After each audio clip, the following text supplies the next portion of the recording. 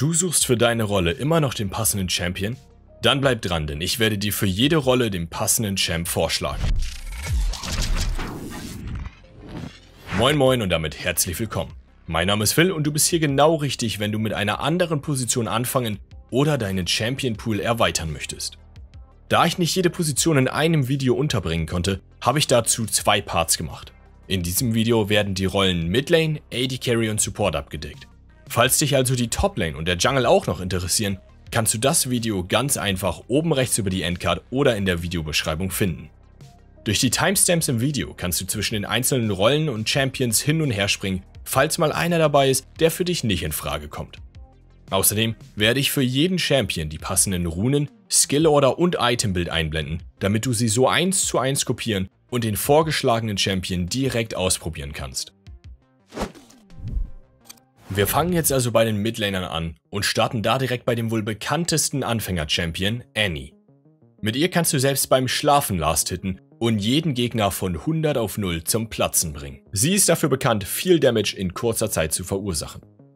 Ihre Passive funktioniert so, dass immer wenn sie eine Fähigkeit benutzt, einen Stack aufbaut, bis zu einem Maximum von 4. Wenn sie dann eine Fähigkeit einsetzt, werden alle getroffenen Gegner gestunt. Ihre Q ist genauso simpel und zwar schießt sie einen Point-and-Click-Feuerball auf den Gegner, der magischen Schaden verursacht. Wenn sie das Ziel tötet, erhält sie das benutzte Mana und die Hälfte der Abklingzeit wieder. Bei der Aktivierung ihrer W entfesselt sie einen Feuerkegel in die entsprechende Richtung. Dieser verursacht an allen getroffenen Gegnern magischen Schaden. Ihre E gewährt Tibbers, dazu gleich mehr, und einem verbündeten Champion ein Schild sowie zusätzliches Lauftempo. Gegner, die während dieser Zeit mit normalen Angriffen Schaden an Annie oder Tibbers verursachen, erleiden selber magischen Schaden. Ihre ultimative Fähigkeit beschwört einen großen brennenden Bär namens Tibbers. Sie verursacht bei der Beschwörung am Zielort magischen Schaden. Sobald Tibbers lebt, kann Annie ihn für die nächsten 45 Sekunden steuern. Tibbers kann angreifen und hat eine Aura um sich herum, die an allen Gegnern magischen Schaden macht. Nach A kommt, wie wir alle wissen, G wie Galio. Er bringt viel CC, Schaden in kurzer Zeit und eine gewisse Tankiness mit. Außerdem ist er Nahkämpfer und verursacht fast ausschließlich magischen Schaden. Sein Job ist es, anderen zu helfen und bespielt mit seiner ultimativen Fähigkeit gerne die ganze Map. Seine Passive sorgt dafür, dass er alle 5 Sekunden einen verstärkten Autotech hat. Dieser verursacht erhöhten magischen Schaden an dem Ziel und an jedem Gegner in dessen direkter Nähe. Auf der Q erzeugt er zwei Windstürme, die er links und rechts von ihm entfacht und in einem Halbkreis auf das Ziel wirft. Diese verursachen an jedem Gegner, den sie treffen, Schaden und sobald die Windstürme aufeinandertreffen, bleiben sie dort für zwei Sekunden und verursachen weiterhin Schaden. Die W besteht aus einer passiven und aktiven Fähigkeit. Die passive sorgt dafür, dass er nach 12 Sekunden ohne erlittenen Schaden ein Schild erzeugt, welches magischen Schaden absorbiert. Sobald er die Fähigkeit aktiviert, verlangsamt er sich selber und baut einen Kreis um sich herum auf. Dieser wird größer, je länger er die Fähigkeit gedrückt hält. Währenddessen erleidet er auch weniger magischen Schaden und sobald er die Fähigkeit maximal aufgeladen hat oder schon verfrüht reaktiviert, tauntet er alle Gegner innerhalb dieses Kreises. Das sorgt dafür, dass sie ihn für zwei Sekunden mit normalen Angriffen attackieren müssen. Sobald er seine E aktiviert, macht Galio einen kleinen Schritt nach hinten, um Schwung zu holen und der stand in einer geraden Linie nach vorne. Dabei verursacht er an allen getroffenen Feinden Schaden und wirft sie kurz in die Luft. Sobald er einen gegnerischen Champion trifft, wird der Dash beendet. Seine ultimative Fähigkeit hat eine extrem große Reichweite und sorgt dafür, dass er schnell bei weit entfernten Kämpfen dazustoßen kann. Für seine Ult muss er einen verbündeten Champion innerhalb seiner Reichweite auswählen. Diese Position wird markiert und es leuchtet ein großer Kreis unter dem Verbündeten auf. Galio muss seine Ult für 1,25 Sekunden channeln und fliegt danach in die Luft und landet an seiner ausgewählten Position. Dort gewährt er allen Verbündeten innerhalb des Kreises ein Schild, was wieder magischen Schaden absorbiert. Außerdem fügt er allen Gegnern innerhalb des Kreises Schaden zu und wirft sie ein kleines Stück zurück. Der dritte Midlaner, den ich euch vorschlage, trägt den Namen Malzahar. Er ist für sein simples und effektives Kit bekannt, was vergleichsweise wenig Skill braucht, um gut ausgespielt zu werden. Er ist ein Fernkämpfer und verursacht magischen Schaden. Seine passive Fähigkeit gibt ihm ein Schild, was ihn vor irgendeinem CC oder Schaden schützt. Es reduziert den einkommenden Schaden um 90% und verhindert jeglichen CC. Sobald es durch Schaden oder CC ausgelöst wird, bleibt es noch für eine kurze Zeit und verschwindet dann. Die Abklingzeit des Schildes ist abhängig vom Level und geht von 30 Sekunden runter auf 12 bei Stufe 18. Die Q von Malzahar erschafft ein Void-Tor, welches sich nach kurzer Zeit schließt und alle Gegner, die davon getroffen werden, erhalten magischen Schaden und werden verstummt. Das führt dazu, dass sie für eine gewisse Zeit keine Fähigkeiten aktivieren können. Die W hat eine passive und aktive Fähigkeit. Die passive besteht darin, dass Malzahar immer einen Voidling-Stack erhält, wenn er eine andere Fähigkeit benutzt. Er kann maximal zwei Stacks gleichzeitig haben. Die aktive Fähigkeit benutzt diese Voidling-Stacks und erschafft für je einen Stack einen Voidling. Diese Voidlinge verursachen magischen Schaden und greifen die Ziele favorisiert an, die von seinem Virus verseucht sind. Dazu kommen wir jetzt. Die E ist der sogenannte Virus. Diese Fähigkeit kann er auf einen Gegner benutzen und verseucht ihn für 4 Sekunden. Wenn diese Zeit abläuft, ist der Virus weg. Wenn der verseuchte Gegner von Malzahas Q getroffen wird, erneuert sich die Zeit und beginnt von vorne. Sobald das Ziel stirbt, überträgt es das Virus an den nächstlegenden Gegner. Außerdem erhält Malzahar Mana dabei. Die ultimative Fähigkeit ist das Markenzeichen von Malzahar und ebenso simpel wie effektiv.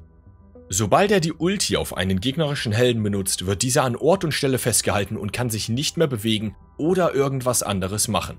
Er ist in diesem Moment suppressed. Außerdem erschafft er unter dem Gegner ein kreisförmiges Feld, welches zusätzlichen Schaden verursacht an allen Gegnern, die sich darauf befinden. Kommen wir jetzt von den Midlanern zu den AD Carries und beginnen wir direkt mit A wie Ash. Sie ist dafür bekannt, dass sie viel Utility in Form von Slows und CC mitbringt und gleichzeitig über eine ordentliche Reichweite verfügt. Wie es zur Rolle der AD Carries gehört, verursacht Ash physischen Schaden. Ihre Passive ist, dass ihre normalen Angriffe die Gegner verlangsamen. Außerdem kann Ash nicht kritten, sondern sie fügt Gegnern, die sie selber verlangsamt hat, erhöhten Schaden zu. Wenn Ash selber kritten würde, verursacht sie nicht mehr Schaden, sondern verlangsamt den Gegner stärker. Die Q von Ash ist aufgeteilt in eine passive und aktive Fähigkeit. Solange die Fähigkeit nicht aktiviert ist, sammelt Ash Stacks bei normalen Angriffen. Diese klingen aber über die Zeit, wo sie nicht angreift, auch wieder ab. Sobald sie vier Stacks gesammelt hat, kann sie die Fähigkeit aktivieren und ihre Auto-Attacks transformieren sich in salvenartige Angriffe. Für eine kurze Zeit erhöht sich ihr Angriffstempo und sie schießt extrem viele Pfeile auf einmal. Sobald Ash ihre W aktiviert, schießt sie eine Salve an Pfeilen in Kegelform in Richtung des Ziels. Diese verlangsamen den Gegner stark und fügen physischen Schaden zu. Die Fähigkeit ist extrem gut, um die Gegner auf Reichweite zu halten. Auch die E von Ash ist in eine passive und aktive Fähigkeit unterteilt. Die passive sammelt Stacks bis zu einem Maximum von 2. Ash benutzt einen Stack, um einen Vision-Pfeil über die Map zu schießen. Die Reichweite ist hierbei global. Dieser Pfeil deckt die Strecke kurz auf und explodiert am Ende, um nochmal mehr Vision zu geben. Und auch die ultimative Fähigkeit ist global. Hierbei schießt Ash einen Eispfeil über die Map und der erste gegnerische Champion, der getroffen wird, wird für eine Zeit gestunt. Diese Zeit ist abhängig von der zurückgelegten Distanz des Pfeils. Je weiter die Distanz, desto länger dauert der Stun. Außerdem werden die Gegner in der Nähe des Ziels auch noch verlangsamt. Der zweite AD Carry in der Reihe ist Sivir. Auch sie ist dafür bekannt, das Team zu unterstützen und glänzt durch den starken Wave Clear und die Möglichkeit, das Lauftempo extrem zu erhöhen. Auch sie verursacht physischen Schaden. Sivirs Passive sorgt dafür, dass immer wenn sie einem gegnerischen Champion durch einen normalen Angriff oder einer Fähigkeit Schaden verursacht, ihr Lauftempo erhöht wird. Wenn Sivir ihre Q benutzt, wirft sie ihren Boomerang in die entsprechende Richtung und verursacht physischen Schaden. Allerdings wird der Schaden reduziert für jede Einheit, die getroffen wird, die kein Champion ist, also Minions oder Monster. Sobald der Boomerang die maximale Reichweite erreicht hat, kommt er zurück und damit resettet sich auch der reduzierte Schaden. Bei der Aktivierung ihrer W werden die nächsten vier Auto-Attacks so verstärkt, dass sie von ihren Zielen abprallen und auf den nächsten Gegner fliegen. Dabei verursachen die Autotex aber weniger Schaden als sonst, können aber trotzdem kritten. Die Ricochets, wie man sie nennt, springen auch auf den nächsten Gegner, obwohl man ihn selber nicht sieht. CVSE ist extrem einfach. Sie erhält bei der Aktivierung ein Spell Shield für 1,5 Sekunden.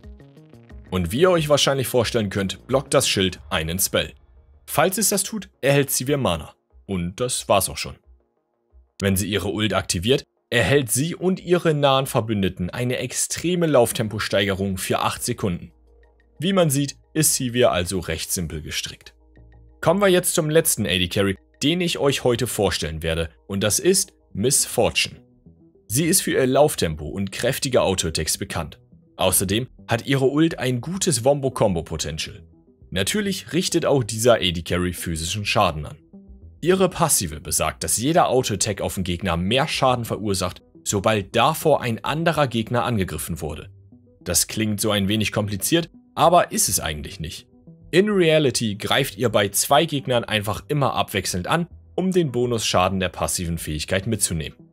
Bei der Q von MF schießt sie eine Kugel auf den ausgewählten Gegner und die verursacht physischen Schaden. Bei Ankunft prallt die Kugel auf einen dahinterliegenden Gegner ab und verursacht erneut Schaden.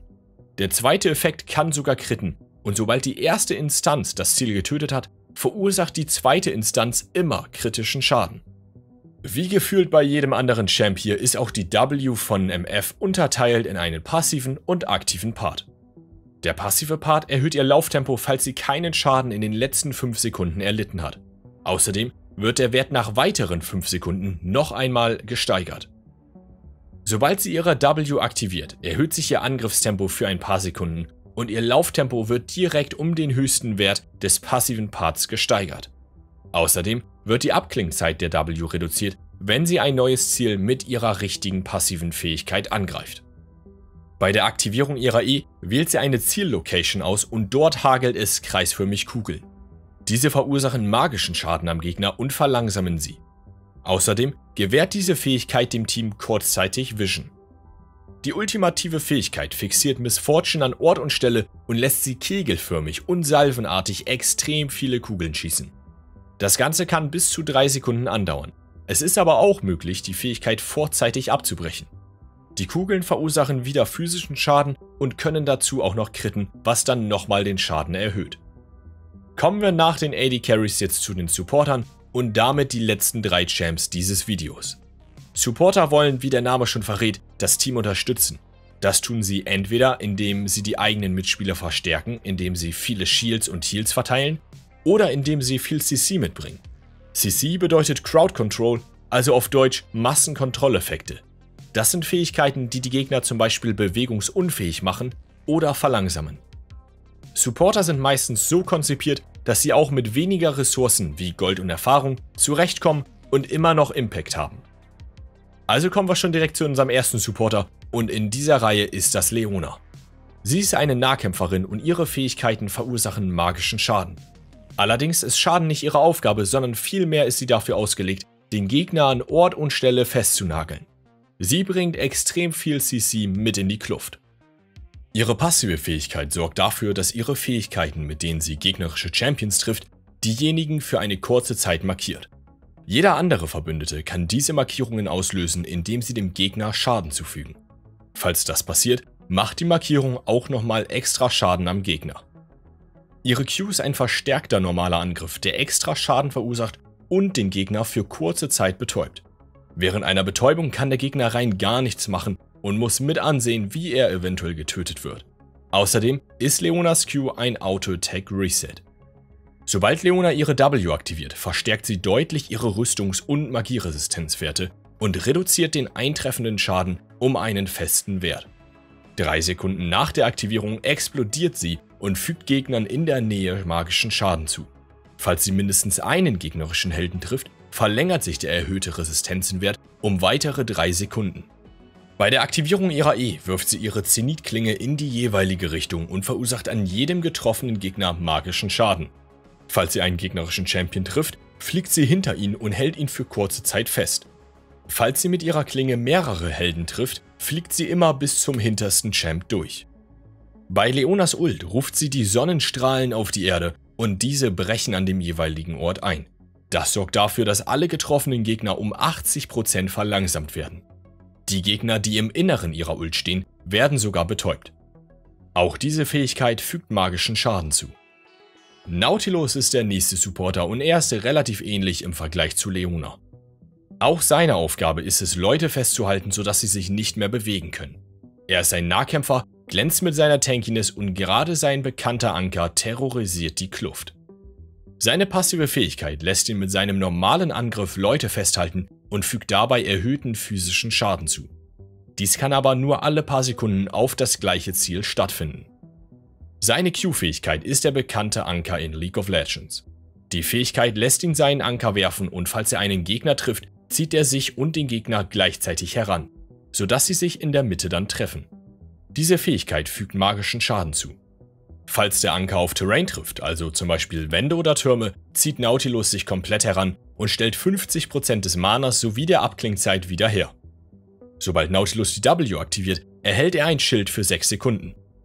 Das absorbiert natürlich eine gewisse Menge an Schaden, aber es verleiht Nautilus auch verstärkte Angriffe.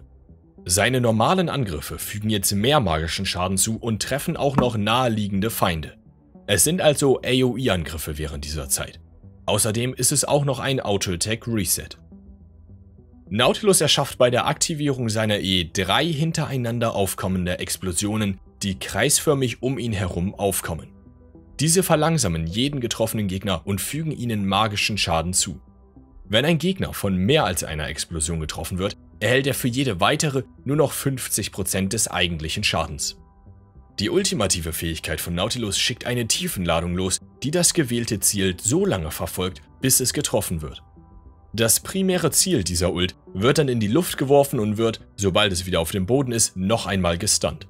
Jeder weitere Gegner, der auf diesem Weg zwischen Nautilus und dem primären Ziel liegt, wird in die Luft geworfen und ist auch gestunt, sobald er wieder auf den Boden kommt.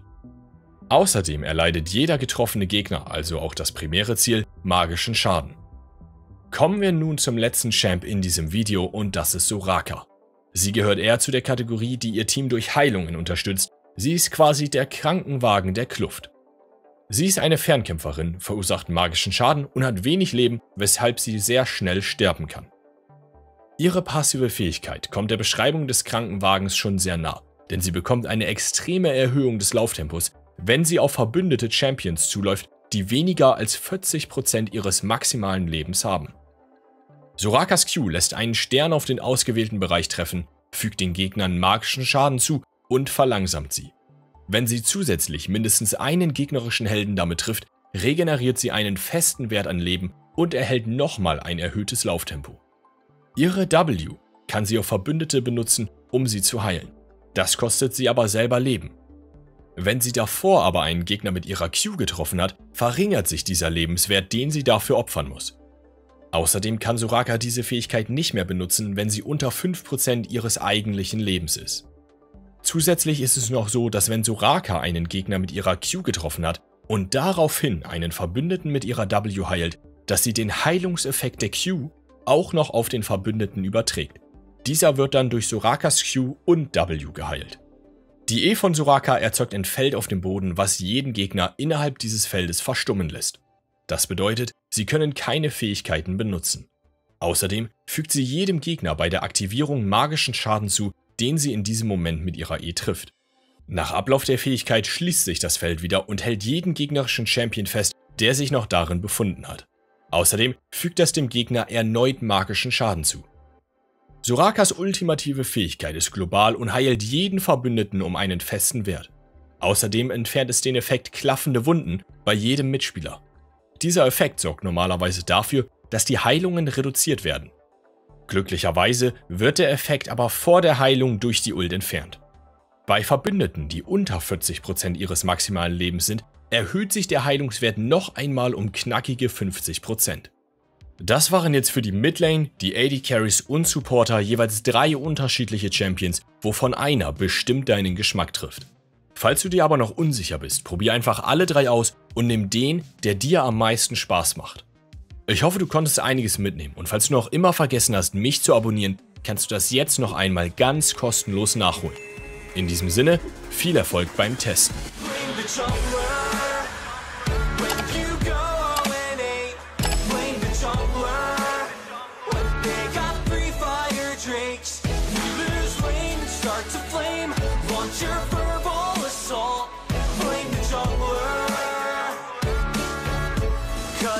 So